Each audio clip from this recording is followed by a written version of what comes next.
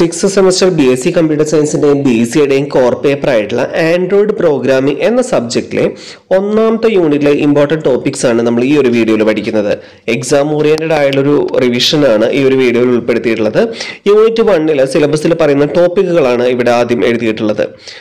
ഇത് മുഴുവനും നമ്മൾ പഠിക്കുന്നില്ല. എക്സാമിന് ചോദിക്കാൻ ചാൻസ് ഉള്ള ക്വസ്റ്റ്യൻസ് മാത്രമാണ് ഡിസ്കസ് ചെയ്യുന്നുള്ളൂ. ഹിസ്റ്ററി ഓഫ് ആൻഡ്രോയിഡ് എന്ന് പറഞ്ഞുള്ള ഇത് തൊട്ടിട്ടാണ് ശരിക്കും ഒരു ഇൻട്രൊഡക്ഷൻ സ്റ്റാർട്ട് ചെയ്യുന്നത്. അതുപോലെ തന്നെ ആൻഡ്രോയിഡ് സോഫ്റ്റ്വെയർ സ്റ്റാക്ക് എന്താണ്? Android S D K Android Java packages അതുപോലെ തന്നെ A D T A V D Android virtual device അതുപോലെ തന്നെ നമ്മൾ ആൻഡ്രോയിഡ് ആപ്ലിക്കേഷന്റെ സ്ട്രക്ചർ എന്താണ്? ആപ്ലിക്കേഷൻ ലൈഫ് സൈക്കിൾ എന്താണ്? ഇതൊക്കെയാണ് മെയിനായിട്ട് ഈ ഒരു യൂണിറ്റിൽ വരുന്ന ടോപ്പിക്സ് ഇനി ആൻഡ്രോയിഡിന്റെ ഹിസ്റ്ററി നമ്മൾ നോക്കുകയാണെന്നുണ്ടെങ്കിൽ ടൂ തൗസൻഡ് ത്രീയുടെ കൂടിയിട്ടാണ് ആക്ച്വലി അല്ലെങ്കിൽ ടൂ തൗസൻഡ് ത്രീ വരെയാണ് നമ്മുടെ ആദ്യത്തെ ആൻഡ്രോയിഡ് അത് ആൻഡ്രോയിഡ് ഐ എൻ സി എന്ന് പറയുന്ന ഒരു സ്റ്റാർട്ടപ്പ് ഡെവലപ്പ് ആവുന്നത്. അതിന്റെ ഫൗണ്ടേഴ്സിന്റെ പേരൊക്കെ ഇതിനകത്ത് കൊടുത്തിട്ടുണ്ട്. ജസ്റ്റ് ഒന്ന് പേരൊക്കെ ജസ്റ്റ് ഒന്ന് വായിച്ചു നോക്കുക അത്രേ ഉള്ളൂ. പിന്നീട് ഇവർക്ക് ഫണ്ടൊന്നും അധികം ഇല്ലാത്തതിനാൽ ഗൂഗിൾ ആണ് എന്ത് ചെയ്തത്? ഈ ഒരു കമ്പനിയെ ഏറ്റെടുത്തത്. ഓക്കെ ദെൻ ആൻഡ്രോയിഡിന് ഒരുപാട് വേർഷൻസ് ഒക്കെ പിന്നീട് വന്നു. ആ വേർഷൻസ് ഒക്കെ ഇതിൽ കൊടുത്തിട്ടുണ്ട്. അങ്ങനെ രണ്ടായിരത്തി ഇരുപതിൽ ആൻഡ്രോയിഡ് ലെവൻ വരെ എത്തി നിൽക്കുന്ന വേർഷൻസ് ആൻഡ്രോയിഡ് വൺ പോയിന്റ് സീറോയിൽ തുടങ്ങി. ആൻഡ്രോയിഡ് ലെവൻ ടു തൗസൻഡ് ട്വന്റിയിൽ സെപ്റ്റംബറോട് കൂടിയിട്ട് എത്തിയ അത്രയും ആയിട്ടാണ് ഇപ്പം നിൽക്കുന്നത്. ആൻഡ്രോയിഡ് വേർഷൻസിൽ ഫസ്റ്റ് വേർഷൻസ് ആണ് വൺ പോയിന്റ് സീറോ ഓൺവേർഡ്സ് ഉള്ളത്. അപ്പോൾ ഇത് H D H T C Dream smart phone എന്ന് പറഞ്ഞുള്ള ഫോണിലാണ് ആദ്യമായിട്ട് ഈ ഒരു ആൻഡ്രോയിഡിന്റെ ഈ ഒരു വേർഷൻ ഇൻസ്റ്റാൾ ചെയ്തത്. അപ്പോൾ ഇതിന്റെ പ്രത്യേകത എന്ന് പറഞ്ഞിട്ടുണ്ടെങ്കിൽ നമ്മൾ ഇന്ന് കാണുന്ന പല സോഫ്റ്റ്വെയർസും അതിനകത്തുണ്ട്.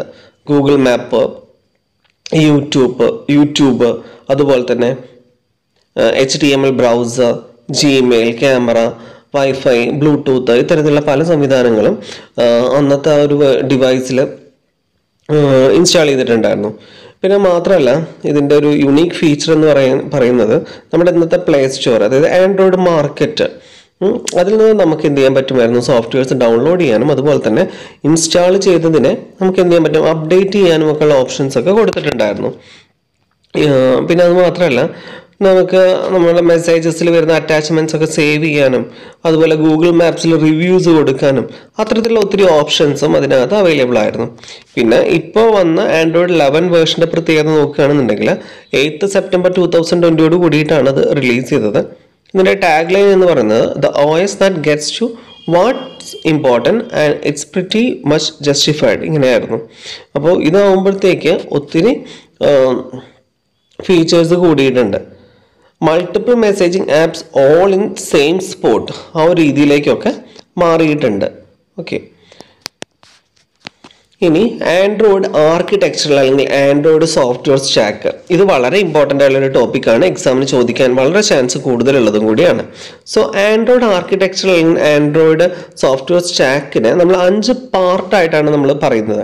ആൻഡ്രോയിഡിന്റെ ആർക്കിടെക്ചർ അല്ലെങ്കിൽ ആൻഡ്രോയിഡ് സോഫ്റ്റ്വെയർ സ്റ്റാക്ക് എന്ന് പറയുന്നതിന് അഞ്ച് ഭാഗങ്ങളുണ്ട്. ലിനക്സ് കേണൽ ആണ് ഫസ്റ്റത്തെ ഭാഗം. നാറ്റീവ് ലൈബ്രറീസ് മിഡിൽ വെയർ എന്ന് വിളിക്കും. Android runtime application framework then applications ഇങ്ങനെ അഞ്ച് കാറ്റഗറീസ് ആണ് ആൻഡ്രോയിഡ് ആപ്ലിക്കേഷൻ ഉള്ളത്. സോ ഇത് നന്നായിട്ട് പഠിക്കുക. അത് ഡീറ്റെയിൽ ആയിട്ട് നമ്മൾ പഠിക്കണം. അതിന് മുന്നേ നമുക്ക് ഇതിന്റെ ഒരു ഫിഗർ ഉണ്ട്. ഒരു ഫിഗറും കൂടെ നമ്മൾ വരച്ച് പഠിക്കണം. അപ്ലിക്കേഷൻസിൽ നമുക്ക് ഹോമും കോണ്ടാക്ട്സും കാണാൻ പറ്റും. ദെൻ അപ്ലിക്കേഷൻ ഫ്രെയിം വർക്ക്സിൽ ആറ് കമ്പോണൻസ് ഉണ്ട്. Activity manager window manager contents provider view system resource manager location manager പിന്നെ അതുപോലെ നെയ്വ് ലൈബ്രറീസ് നാറ്റീവ് ലൈബ്രറീസിൽ കിടക്കുന്നത് media S Q L lite S S L open L free time graphics Android run ടൈമിൽ അതുപോലെ തന്നെ ഒരു virtual machine കിടക്കുന്നുണ്ട്. Then Linux kernel device drivers ഇത്രയാണ് നമ്മുടെ ഈ കമ്പോണൻസിൽ വരുന്നത്. സോ ഓരോന്നും എന്താണെന്ന് നോക്കാം. ലിനക്സ് കേണലാണ് ഹാർട്ട് എന്ന് വിളിക്കുന്നത്. ആൻഡ്രോയിഡ് ആർക്കിടെക്ചറിന്റെ ഹാർട്ട് പോർഷനാണ് ഹാർട്ട് എന്നറിയപ്പെടുന്ന ഭാഗമാണ് ലിനക്സ് കേണൽ അപ്പോൾ ഇത് ശരിക്കും റൂട്ടാണ് ആൻഡ്രോയിഡ് ആർക്കിടെക്ചറിന്റെ റൂട്ടായിട്ട് നിൽക്കുന്ന ഒരു ഭാഗമാണ്. ലിനക്സ് കേണലാണ് ഒരു ഡിവൈസിന് പല കാര്യങ്ങളും റെസ്പോൺസിബിൾ ആവുന്നത് ഡ്രൈവർ അതുപോലെ തന്നെ power management memory management device management resource access ഇങ്ങനെയുള്ള എല്ലാറ്റിനും റെസ്പോൺസിബിൾ ആയുള്ള കാര്യം ലിനക്സ് കേണലാണ് ഇങ്ങനെയുള്ള എല്ലാ കാര്യങ്ങളും കറക്റ്റ് ആക്കുന്നത് ലിനക്സ് കേണൽ കേണലാണ് ദെൻ നാറ്റീവ് ലൈബ്രറീസ് എന്ന് പറയുന്നത് ലിനക്സ് കേണലിന്റെ ടോപ്പിലുള്ളതാണ് native library അതിനകത്തുള്ളത് web kit open G L free type S Q lite S Q L S Q lite media അങ്ങനെയുള്ള കുറച്ച് പിന്നെ അതുപോലെ തന്നെ ലൈബ്രറീസ് റൺ ടൈപ്പ് ലൈബ്രറീസ് ഇത്തരത്തിലുള്ള കാര്യങ്ങളൊക്കെയാണ്. ഇതിൽ വെബ് കിറ്റ് ലൈബ്രറി എന്ന് പറയുന്നതാണ് നമുക്ക് ബ്രൗസർ സപ്പോർട്ടൊക്കെ തരുന്നത്. നമ്മുടെ ബ്രൗസറുമായിട്ടുള്ള കണക്ടിവിറ്റിയും ഗൂഗിൾ ക്രോം അത്തരത്തിലുള്ള ബ്രൗസേഴ്സ് ഉണ്ടല്ലോ. അതുമായുള്ള കണക്ടിവിറ്റിക്ക് ഹെൽപ്പ് ചെയ്യുന്ന ഒരു നാറ്റീവ് ലൈബ്രറിയാണ് വെബ് കിറ്റ് എന്ന് പറയുന്നത്. എസ് ക്യു ലൈറ്റ് എന്ന് പറയുന്നത് ഒരു ഡാറ്റാബേസ് ആണ്. ഫ്രീ ടൈപ്പ് എന്ന് പറയുന്നത് ഫോണ്ടുകളൊക്കെ സപ്പോർട്ട് ചെയ്യാൻ വേണ്ടിയുള്ള ഒരു ലൈബ്രറിയാണ് അതുപോലെ മീഡിയ ആണ് ഓഡിയോയും വീഡിയോ ഒക്കെ പല ഫോർമാറ്റിലുള്ളതും പ്ലേ ചെയ്യാനൊക്കെ ഹെൽപ്പ് ചെയ്യുന്നത്. പിന്നെയുള്ള ആൻഡ്രോയിഡ് റൺ ടൈം ആണ്. ആൻഡ്രോയിഡ് റൺ ടൈം അതിന അതിനകത്ത് അത് നമ്മൾ പറയുക there are core libraries and D V M D V M എന്ന് പറഞ്ഞാൽ ഡാൽവിക് വിർച്വൽ മെഷീൻ ഇതാണ് ഒരു ആൻഡ്രോയിഡ് ആപ്ലിക്കേഷൻ റൺ ചെയ്യാൻ വേണ്ടിയിട്ട് സഹായിക്കുന്നത്. ഈ ആൻഡ്രോയിഡ് റൺ ടൈമിലുള്ള കോർ ലൈബ്രറീസും അതുപോലെ തന്നെ ഡി വി എമ്മും ആണ് ആൻഡ്രോയിഡ് അപ്ലിക്കേഷൻസ് റൺ ചെയ്യാൻ വേണ്ടിയിട്ട് ഹെൽപ്പ് ചെയ്യുന്നത്. ഡി വി എം എന്ന് പറഞ്ഞാൽ നമ്മുടെ ജാവ വിർച്വൽ മെഷീൻ പോലെ തന്നെയാണ്. ഓരോ മൊബൈൽ ഫോണിനനുസരിച്ചിട്ട് ഈ ഡി വി എം കസ്റ്റമൈസ് ചെയ്തിട്ടുണ്ട് അല്ലെങ്കിൽ ഒപ്റ്റിമൈസ് ചെയ്തിട്ടുണ്ടെന്ന് പറയാൻ വേണ്ടി പറ്റും. ഇതിന് കുറച്ച് മെമ്മറി മാത്രമേ എടുക്കുന്നുള്ളൂ. നല്ല ഒരു പെർഫോമൻസും പ്രൊവൈഡ് ചെയ്യുന്നുണ്ട്. ദെൻ ആൻഡ്രോയിഡ് ഫ്രെയിം വർക്കാണ് അടുത്തത്. നാറ്റീവ് ലൈബ്രറിയുടെ മുകളിലും അതേപോലെ തന്നെ ആൻഡ്രോയിഡ് റൺ ടൈമിന്റെയും ഒക്കെ മുകളിലായിട്ട് വരുന്നൊരു ഭാഗമാണ്. ആൻഡ്രോയിഡ് ഫ്രെയിം വർക്ക് എന്ന് പറയുന്നത്. നമ്മുടെ നേരത്തെ ഇമേജ് നോക്കിയാൽ മനസ്സിലാവും. അപ്പോൾ ആൻഡ്രോയിഡ് ഫ്രെയിം വർക്ക് അതിലുള്ള ഭാഗങ്ങൾ എന്തൊക്കെയാണ്? എ പി ഐ അതുപോലെ തന്നെ U I Android A P എന്ന് പറഞ്ഞിട്ടുണ്ടെങ്കിൽ ആപ്ലിക്കേഷൻ ഇന്റർഫേസ് ആണ്. അതായത് നമ്മുടെ യൂസർ ഇന്റർഫേസ് അതുപോലെ തന്നെ ടെലഫോണി എന്ന് വെച്ചാൽ നമുക്ക് ഡയൽ ചെയ്യാനൊക്കെ ഉള്ള ഒരു ഭാഗമൊക്കെ വരുന്ന അത് അതുപോലെ റിസോഴ്സസ് ലൊക്കേഷൻസ് കണ്ടന്റ് പ്രൊവൈഡേഴ്സ് അതായത് ഡാറ്റ പിന്നെ പാക്കേജ് മാനേജേഴ്സ് ഇത്രയും ഭാഗങ്ങളാണ് ഇതിനകത്ത് വരുന്നത്. ഇതിൽ ഒരുപാട് ക്ലാസ്സുകളുണ്ട് അതുപോലെ ഇന്റർഫേസസ് ഉണ്ട്. ആൻഡ്രോയിഡ് ആപ്ലിക്കേഷൻ ഡെവലപ്മെന്റിന് ഹെൽപ്പ് ചെയ്യുന്ന ഒത്തിരി ക്ലാസ്സസും ഇന്റർഫേസസും ഉള്ള ഭാഗമാണ് ആൻഡ്രോയിഡ് ഫ്രെയിം വർക്ക് എന്ന് പറയുന്നത്. ദെൻ അപ്ലിക്കേഷൻസ് ആണ് അഞ്ചാമത്തെ കമ്പോണന്റ് ഏറ്റവും ടോപ്പിലായിട്ട് വരുന്നതാണ് അപ്ലിക്കേഷൻസ് അപ്ലിക്കേഷൻസ് മെയിനായിട്ടുള്ള അപ്ലിക്കേഷൻസ് എന്തൊക്കെയാണ്? Home contact settings games browsers ഇതൊക്കെയാണ്. Android run time and libraries ഒക്കെ യൂസ് ചെയ്തിട്ടാണ് എല്ലാ അപ്ലിക്കേഷൻസും വർക്ക് ചെയ്യുന്നത്. Android run time and active libraries are using Linux kernel so ഇത് നന്നായിട്ട് പഠിക്കാം. Next Android S D K Android S D K എന്ന് പറയുന്നത് സോഫ്റ്റ്വെയർ ഡെവലപ്മെന്റ് കിറ്റ് ആണ്. ഇത് ഡെവലപ്പ് ചെയ്തത് ഗൂഗിൾ ആണ്. ആൻഡ്രോയിഡ് പ്ലാറ്റ്ഫോമിന് വേണ്ടിയിട്ട് ഡെവലപ്പ് ചെയ്തൊരു കിറ്റാണിത് അപ്പോൾ ഇത് ഉപയോഗിച്ചുകൊണ്ട് നമുക്ക് ആൻഡ്രോയിഡ് ആപ്ലിക്കേഷൻസ് ഡെവലപ്പ് ചെയ്യാൻ വേണ്ടി പറ്റും. അതുപോലെ തന്നെ അത് നമുക്ക് എന്ത് ചെയ്യാൻ പറ്റും? നമ്മൾ ഗൂഗിൾ പ്ലേ സ്റ്റോറിലൊക്കെ കാണുന്ന ആപ്ലിക്കേഷൻസ് ബിൽഡ് ചെയ്യാനൊക്കെയാണ് എസ് ടി കെ യൂസ് ചെയ്യുന്നത്. അപ്പോൾ ഇതിനകത്ത് ആൻഡ്രോയിഡ് സ്റ്റുഡിയോ അതുപോലെ തന്നെ Google's official integrated development environment പിന്നെ ഇതൊക്കെ ഈ ഒരു എസ് ഡി കെയിൽ വരുന്നതാണ്. എസ് ഡി കെയിൽ വരുന്ന ഭാഗം എസ് ഡി കെയുമായിട്ട് ബന്ധപ്പെട്ട കാര്യങ്ങളാണ്. ഓക്കെ അപ്പോൾ Android S D K actually ഒരു സോഫ്റ്റ്വെയർ ഡെവലപ്മെന്റ് ടൂൾസിന്റെ ഒരു കളക്ഷൻ ആണ് അല്ലെങ്കിൽ ലൈബ്രറീസിന്റെ ഒക്കെ ഒരു കളക്ഷൻ ആണെന്നൊക്കെ പറയാൻ വേണ്ടി പറ്റും. ഗൂഗിൾ ഓരോ തവണയും ഓരോ വേർഷൻസ് ഇറക്കുന്നതിനനുസരിച്ചിട്ട് ഈ എസ് ഡി കെയിലും അതിന്റെതായുള്ള മാറ്റങ്ങൾ വരുത്താറുണ്ട്. നമുക്കത് അപ്ഡേറ്റ് ചെയ്ത് പോകാൻ പറ്റും. എസ് ഡി കെയിലും മാറ്റങ്ങൾ വരുത്താൻ വേണ്ടി പറ്റും. അത് ഡൗൺലോഡ് ചെയ്ത് ഇൻസ്റ്റാൾ ചെയ്താൽ മാത്രം മതി. ആൻഡ്രോയിഡ് സ്റ്റുഡിയോ ഒക്കെ വെച്ചിട്ടാണ് നമ്മൾ സാധാരണ ചെയ്യാറ്. ഒത്തിരി ഓരോ സിസ്റ്റം സപ്പോർട്ട് ചെയ്യുന്ന എസ് ഡി കെസ് ഒക്കെ ഉണ്ട്. ദെൻ ഈ ടൂൾസ് ആണ് നമ്മുടെ ഡെവലപ്മെന്റ് പ്രോസസ്സിന് ഒരു സ്മൂത്ത് ഫ്ലോ ഒക്കെ കൊടുക്കും നമുക്ക് ഡെവലപ്പ് ചെയ്യാനൊക്കെ സഹായിക്കുന്നത്. Then next Android virtual machine ഇതൊരു ഇമ്പോർട്ടന്റ് ടോപ്പിക്കാണ് ഇതൊരു എമുലേറ്റർ ആണെന്ന് പറയാൻ വേണ്ടി പറ്റും. അതായത് നമ്മൾ ഒരു ഡിവൈസിന്റെ ഒരു റിയൽ ഡിവൈസിന്റെ ക്യാപ്പബിലിറ്റീസ് നോക്കിയിട്ട് ഇപ്പം നമ്മുടെ കയ്യിലുള്ള ഒരു സ്മാർട്ട് ഫോൺ ഇന്നൊരു സ്മാർട്ട് ഫോൺ ആണെങ്കിൽ ആ ഒരു സ്മാർട്ട് ഫോണിന്റെ ഒരു എമുലേറ്റർ എന്ന് വെച്ചാൽ അതിനകത്ത് എങ്ങനെ വർക്ക് ചെയ്യും എന്ന രീതിയിലേക്ക് നമുക്ക് നമ്മുടെ കയ്യിലുള്ള മൊബൈൽ നമ്മുടെ മൊബൈൽ ഫോൺ ഏത് കമ്പനിയുടെയാണോ ആ ഒരു കമ്പനിയുടെ ഫോണിൽ ഇൻസ്റ്റാൾ ചെയ്താൽ എങ്ങനെ ഇരിക്കും എന്ന രീതിയിലേക്ക് നമുക്ക് കൊടുക്കാൻ വേണ്ടി പറ്റുന്ന ഒരു എമുലേറ്റർ കോൺഫിഗറേഷനാണ് ആൻഡ്രോയിഡ് വിർച്വൽ ഡിവൈസ് എന്ന് പറയുന്നത്. നമുക്ക് കോൺഫിഗർ ചെയ്യാൻ വേണ്ടി പറ്റും. ഹാർഡ്വെയറും സോഫ്റ്റ്വെയർ ഓപ്ഷൻസ് ഒക്കെ നമുക്ക് ഇതിനകത്ത് കോൺഫിഗർ ചെയ്യാൻ വേണ്ടി പറ്റും. അപ്പോൾ ഇതനുസരിച്ച് നമുക്കൊരു നല്ല ഗ്രാഫിക്കൽ ഇന്റർഫേസും ഒക്കെ ഇൻസ്റ്റാൾ ചെയ്യാൻ വേണ്ടിയിട്ടൊക്കെ പറ്റും. നമ്മൾ ഫോൺ ഉപയോഗിച്ച് ഫോണിലേക്ക് ചെയ്ത് നോക്കേണ്ട ആവശ്യമില്ല. സിസ്റ്റത്തിൽ തന്നെ നമുക്ക് ചെയ്യാൻ വേണ്ടി പറ്റും. അപ്പോൾ ഇതിന് വേണ്ടിയിട്ട് വിൻഡോ എന്നുള്ള ഓപ്ഷനിൽ എ വി ഡി മാനേജർ അതിനകത്ത് വിർച്വൽ ഡിവൈസസ് ക്ലിക്ക് ചെയ്തിട്ട് ഏത് വിർച്വൽ ഡിവൈസ് ആണ് വേണ്ടത് അതിന്റെ പ്രോപ്പർട്ടീസും കാര്യങ്ങളൊക്കെ സെറ്റ് ചെയ്ത് കൊടുത്താൽ മതി.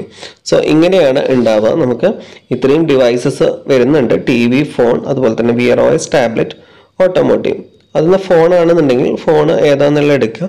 സൈസും കാര്യങ്ങളും റെസൊല്യൂഷൻസും ഒക്കെ സെറ്റ് ചെയ്ത് കൊടുക്കുക. നെക്സ്റ്റ് ഇമ്പോർട്ടന്റ് ടോപ്പിക്കാണ് structure of an Android app Android അപ്ലിക്കേഷന്റെ സ്ട്രക്ചറാണ് ഇവിടെ കൊടുത്തിട്ടുള്ളത്. സോ ഈ ഒരു ഫിഗർ നന്നായിട്ട് പഠിക്കുക. ഇതിൽ വരുന്ന ഓരോ കമ്പോണൻസും നമ്മൾ എക്സ്പ്ലെയിൻ ചെയ്യുകയാണ് ചെയ്യുന്നത്. ഓക്കെ ദെൻ നമുക്ക് നോക്കാം. ഈ ഒരു ഡയഗ്രത്തിൽ ബേസിക് ബ്ലോക്സ് ആണ് ആൻഡ്രോയിഡ് അപ്ലിക്കേഷന്റെ ബേസിക് ബ്ലോക്സ് ആണ് ഈ ഒരു ഡയഗ്രത്തിൽ കൊടുത്തിട്ടുള്ളത്. ഓക്കെ അപ്പോൾ ആൻഡ്രോയിഡ് അപ്ലിക്കേഷൻ നമ്മൾ എക്ലിപ്സിലാണ് ചെയ്യുന്നത്. അല്ലെങ്കിൽ വേറെ ഏതെങ്കിലും ഡെവലപ്മെന്റ് ടൂൾ ഉപയോഗിച്ചിട്ടാണ് നമ്മൾ ഒരു ആൻഡ്രോയിഡ് അപ്ലിക്കേഷൻ ബിൽഡ് ചെയ്യുന്നത് വിചാരിക്കുക. അപ്പോൾ അതിനകത്ത് കോഡും ഉണ്ടായിരിക്കും. ഒത്തിരി ഫോൾഡേഴ്സും ഉണ്ടായിരിക്കും. ഓക്കെ ആ ഫോൾഡേഴ്സ് ഒക്കെയാണ് ഇതിന്റെ ഒരു സ്ട്രക്ചർ മെയിനായിട്ട് പറയുന്നത്. സോ ആ ഫോൾഡേഴ്സ് ഒക്കെ തന്നെയാണ് നമ്മൾ ഈ ഒരു ഫിഗറിൽ കൊടുത്തിട്ടുള്ളത്. ഫസ്റ്റത്തത് എസ് ആർ സി ആയിരുന്നു അല്ലേ? എസ് ആർ സി എന്ന് പറഞ്ഞാൽ സോഴ്സ് കോഡാണ് നമ്മുടെ ജാവ ഉപയോഗിച്ചിട്ടാണ് നമ്മൾ ചെയ്യുന്നത്. സോ ജാവ സോഴ്സ് കോഡുള്ള ഫയൽസ് ആയിരിക്കും എസ് ആർ സി എന്ന് പറഞ്ഞ ഫോൾഡറിൽ ഉണ്ടായിരിക്കാം പെൻ ദെൻ ഉള്ളത് ജെൻ അതായത് ജനറേറ്റഡ് ജാവ ലൈബ്രറി അത് ഇന്റേണൽ യൂസിന് വേണ്ടിയുള്ള കുറച്ച് ജാവ കോഡ്സ് ആണ്. ആൻഡ്രോയിഡ് ടു പോയിന്റ് ടു എന്ന് പറഞ്ഞിട്ടൊന്ന് കാണാം. ഇത് ആൻഡ്രോയിഡ് ഫ്രെയിം വർക്ക് ലൈബ്രറിയാണ് അതുപോലെ അസെറ്റ്സ് എന്ന് പറയുന്നത്. റോ അസെറ്റ് ഫയലുകളാണ് അതിനകത്ത് ഉണ്ടാവുക ലിപ്സ് എന്ന് പറയുന്നതിൽ പ്രൈവറ്റ് ലൈബ്രറീസ് ആണ് ഉണ്ടാവുക. ദെൻ ആർ ഇ എസ് അതായത് resource ഫയലാണ് pictures X M L files അങ്ങനെയുള്ള കാര്യങ്ങളൊക്കെ നമ്മൾ ഈ ഒരു അപ്ലിക്കേഷനിൽ ഉപയോഗിക്കുന്ന എക്സ് എം എൽ ഫയൽസും കാര്യങ്ങളൊക്കെ ഇതിനകത്ത് വരും. ഇതിനകത്ത് തന്നെ അഡീഷണൽ ഫോൾഡേഴ്സ് വരുന്നുണ്ട്. അനീം കളർ ഡ്രോബിൾ എന്ന് പറഞ്ഞിട്ട്. സോ അതാണ് ഇവിടെ കൊടുത്തിട്ടുള്ളത്. അനീം എന്ന് പറയുന്നത് എക്സ് എം എൽ ഫയൽസ് ആണ്. ആനിമേഷൻ ഒബ്ജക്ട്സ് വരുന്നതാണ് അത് കളർ എന്ന് പറയുന്നത് കളേഴ്സ് ഡിസ്ക്രൈബ് ചെയ്യാൻ. ഡ്രോബിൾ എന്ന് പറയുന്നത് ഗ്രാഫിക് ഫയൽസ് ഒക്കെയാണ്. ആൻഡ്രോയിഡ് പ്രോജക്ട് സ്ട്രക്ചർ ഒക്കെ അനുസരിച്ച് ഒരു മൂന്ന് ടൈപ്പ് വരുന്നുണ്ട്. Drawable M D P I H D P I L D P I ഇത്രയും വരുന്നുണ്ട്. സോ ഇതൊക്കെയാണ് മെയിനായിട്ടുള്ള resource files then Android manifest dot X M L എന്ന് പറഞ്ഞ ഫയൽ ഉണ്ട് ഇത് ആൻഡ്രോയിഡ് ഡെഫിനിഷൻ ഫയലാണ്. ഇതിനകത്ത് ഇൻഫർമേഷൻസ് ഉണ്ടായിരിക്കും. അതായത് ആൻഡ്രോയിഡ് വേർഷൻ പെർമിഷൻസ് എന്തൊക്കെ കാര്യങ്ങൾക്ക് പെർമിഷൻ കൊടുത്തിട്ടുണ്ട് നമ്മുടെ ലൊക്കേഷൻ അങ്ങനെയുള്ള കാര്യങ്ങൾക്ക് പെർമിഷൻ കൊടുക്കുമല്ലോ അതൊക്കെ വരുന്നത്. ഡിഫോൾട്ട് ഡോട്ട് പ്രോപ്പർട്ടീസ് അതായത് ഇൻസ്റ്റാൾ ചെയ്യുമ്പോൾ കൊടുക്കുന്ന ഒരു പെർമിഷൻസും കാര്യങ്ങളൊക്കെയാണ് ഈ ഒരു ഫയലിൽ ഉണ്ടാവുക കേട്ടോ. ദെൻ ഡിഫോൾട്ട് ഡോട്ട് പ്രോപ്പർട്ടീസ് എന്ന് പറയുന്നത് പ്രൊജക്ട് സെറ്റിങ്സ് ഒക്കെയാണ്. നമ്മൾ നമുക്കത് പിന്നെ എഡിറ്റ് ചെയ്യാനൊന്നും പറ്റില്ല. ഡിഫാൾട്ടായിട്ട് വരുന്ന കാര്യങ്ങളൊക്കെയാണ്. ProGuard ProGuard dot C F G ഇത് നമുക്ക് കോഡ് അൺക്ലിയർ ആക്കാൻ വേണ്ടി define how ProGuard optimizes and makes your code unclear അതിന് വേണ്ടിയിട്ടുള്ള ഒരു ഫയലാണ്. Then main layout dot X M L ഇതാണ് ലേഔട്ട് ഓഫ് ദ പേജ് എന്ന് പറയുന്നത് ടെക്സ്റ്റ് ബോക്സും ലേബിൾസും റേഡിയോ ബട്ടൺസും എല്ലാം വരുന്നത് ഇതിനകത്താണ് ദെൻ ആക്ടിവിറ്റി ക്ലാസ് ഇത് the application occupies the entire device screen which needs at least one class from activity class on create of method initiate the application and loads the layout page so ഇതിനകത്ത് വരുന്നൊരു ഇതൊരു class ആണ് ഈ ഒരു class ഫയലാണ് അതിനകത്ത് on create എന്ന് പറഞ്ഞ method ഉണ്ട് അതാണ് ആപ്ലിക്കേഷന് നമ്മുടെ ലേഔട്ട് പേജിലേക്ക് ലോഡ് ചെയ്യിക്കുന്നത് സോ അത്രയാണ് സ്ട്രക്ചറിൽ പഠിക്കേണ്ടത് next process and application life cycle life cycle in Android ഇത് ഒരു എങ്ങനെയാണ് ഒരു ആൻഡ്രോയിഡ് ആപ്ലിക്കേഷൻ ലൈഫ് സൈക്കിൾ എന്നുള്ളത്? ഒരു ഇമ്പോർട്ടന്റ് ആയിട്ടുള്ള ഒരു കാര്യം തന്നെയാണ്. അതായത് റെസ്പോൺസ് ഒരു യൂസർ എന്നുള്ള റെസ്പോൺസ് ഒക്കെ അനുസരിച്ച് വർക്ക് ചെയ്യുന്നത് എങ്ങനെയാണെന്നുള്ളതാണ്. അപ്പോൾ ഇത് ഒരു ഫിഗർ വെച്ചിട്ടാണ് എക്സ്പ്ലെയിൻ ചെയ്യുന്നത്. അപ്പോൾ ഈ ഫിഗർ നോക്കുന്നതിനേക്കാൾ മുന്നേ മനസ്സിലാക്കാം. നമ്മളൊരു ആക്ടിവിറ്റി അതായത് ഫോർഗ്രൗണ്ട് ഒരു ആക്ടിവിറ്റി നടക്കുകയാണെന്ന് വിചാരിക്കും. അപ്പോൾ എന്ത് സംഭവിക്കുന്നു എന്നുള്ളത് ഒരു ഏഴ് മെത്തേഡ്സ് ആയിട്ട് ആണ് പറയുന്നത്. ഈ ഒരു ഏഴ് മെത്തേഡ്സ് ചേർന്നാണ് ഇതിന്റെ ലൈഫ് സൈക്കിൾ എന്ന് പറയുന്നത്. നമുക്ക് ഇതിന്റെ പ്രോപ്പർട്ടീസ് ആദ്യം നോക്കാം. ഇത്രയും മെത്തേഡ്സ് ആണുള്ളത്. ഓൺ ക്രിയേറ്റ് എന്ന് പറഞ്ഞ മെത്തേഡ് ഉണ്ട്. ഇതാണ് ഒരു ആക്ടിവിറ്റി ഫസ്റ്റ് കോൾ ചെയ്ത് കഴിഞ്ഞാൽ സംഭവിക്കുന്നത്. ഓക്കെ അതിന്റെ നെക്സ്റ്റ് മെത്തേഡാണ് ഓൺ സ്റ്റാർട്ട് ഓഫ് എന്ന് പറഞ്ഞ മെത്തേഡ് ദെൻ ഓൺ റീസ്റ്റാർട്ട് ഉണ്ട്. ആക്ടിവിറ്റി സ്റ്റോപ്പ് ചെയ്ത് കഴിഞ്ഞാൽ പോകുന്നതാണ്. അതിന്റെ next method on start on start എന്ന് പറഞ്ഞിട്ടുണ്ടെങ്കിൽ എന്താണ്? ആക്ടിവിറ്റി വിസിബിൾ യൂസർക്ക് വിസിബിൾ ആവും ആവാൻ വേണ്ടിയുള്ളതാണ്. ഓൺ റെസ്യൂമും ഓൺ സ്റ്റോപ്പും ആണ് അതിനകത്ത് നെക്സ്റ്റ് വരുന്നത്. ഓൺ റെസ്യൂം എന്ന് പറഞ്ഞിട്ടുണ്ടെങ്കിൽ called when activity starts interacting with user അത് പോസ് ഓൺ പോസ് എന്ന് പറഞ്ഞൊരു ഓപ്ഷൻ വരുന്നുണ്ട്. പോസും അതുപോലെ തന്നെ റെസ്യൂമും ഓക്കെ ഓൺ സ്റ്റോപ്പ് ഇപ്പോൾ നമ്മൾ ഓൾറെഡി പറഞ്ഞു. പിന്നെ ഓൺ ഡിസ്ട്രോയ് എന്ന് പറയുന്നത് നമുക്കൊരു final call received before activities destroyed okay then ഇതാണ് ഒരു ലൈഫ് സൈക്കിളിന്റെ ഫിഗർ ഇത് കാണാതെ പഠിക്കുക. ആക്ടിവിറ്റി ലോഞ്ച് ചെയ്യുന്നത് എങ്ങനെയാണ്? ഓൺ ക്രിയേറ്റ് എന്ന് പറഞ്ഞ ഫംഗ്ഷൻ വെച്ചിട്ടാണ്. Then on start then pause ആവുക എന്നുണ്ടെങ്കിൽ ഓൺ റെസ്യൂമിലേക്ക് പോകും. ആക്ടിവിറ്റി റൺ ആവാൻ വേണ്ടി തുടങ്ങും. Another activity comes into the foreground എങ്ങനെയാണ്? ഓൺ പോസ് വഴി അല്ലേ? Then activities no longer visible ആണെന്നുണ്ടെങ്കിൽ അത് സ്റ്റോപ്പ് ചെയ്യാൻ ഓൺ സ്റ്റോപ്പ് ആക്ടിവിറ്റി ഫിനിഷ് ചെയ്ത് കഴിഞ്ഞിട്ടുണ്ടെങ്കിൽ ലിസ്റ്റ് ചെയ്യാൻ on destroy then activity shut down എന്നുള്ള രീതിയിൽ വരും. ആ ഓൺ സ്റ്റോപ്പിന്റെ അവിടെ വെച്ചിട്ട് ആപ്പ് വർക്കാവാതിരിക്കുകയെന്ന് വിചാരിക്കുക. ഹയർ പ്രയോറിറ്റിയിൽ മറ്റൊന്ന് വന്നു കഴിഞ്ഞിട്ടുണ്ടെങ്കിൽ ആപ്പ് പ്രോസസ്സ് എന്തിനാ? കിൽ ചെയ്യണം അല്ലേ? ഓക്കെ ദെൻ അല്ലെങ്കിൽ എന്ത് ചെയ്യണം? റീസ്റ്റാർട്ട് ചെയ്യണം എഗെയിൻ റീസ്റ്റാർട്ട് ചെയ്യണം. അതുപോലെ തന്നെ പോസിൽ മെയിൻ അതേ ആക്ടിവിറ്റിയിൽ പോകാൻ വേണ്ടിയിട്ട് എന്ത് ചെയ്യണം? റെസ്യൂമിലേക്കും ഒരു ആരോ മാർക്ക് കൊടുത്തിട്ട് ചെയ്താൽ മതി. അപ്പോൾ